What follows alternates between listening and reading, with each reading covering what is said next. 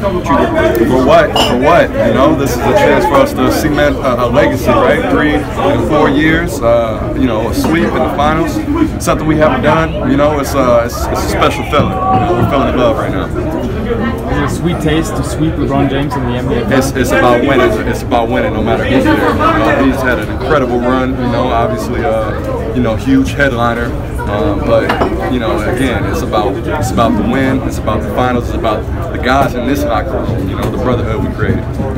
Tonight, I had the feeling that this is maybe just the start of a big, big, big thing. We hope so. We hope so. But we we gonna enjoy this one first. We gonna enjoy this one.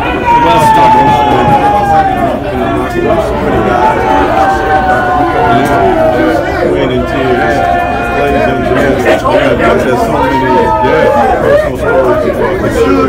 Agreed, agreed, and that's what makes it so special. That's why guys are pouring champagne on the Chelsea because everybody has a different journey, right? Everybody battled through something. Had with the whole back injury, Quinn, you know, from the D League, right? Trying to make it in. Uh, you know, we, I'm just, I'm happy. I'm, again, every year I get a another level of happiness for guys, right? Like my first year, just the, the shock value of winning it for myself, my journey.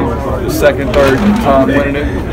seeing you know guys, first timers, D West, now Jordan Bell, Nick Young.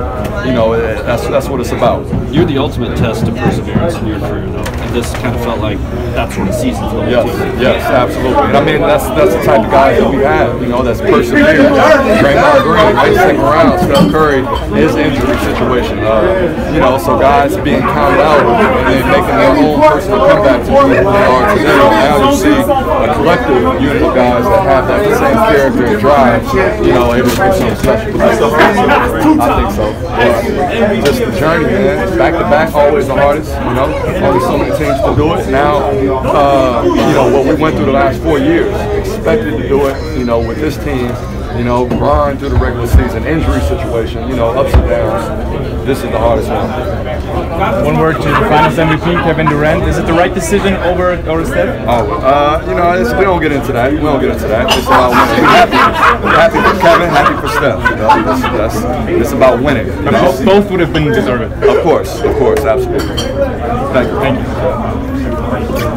Yeah, money. Yeah.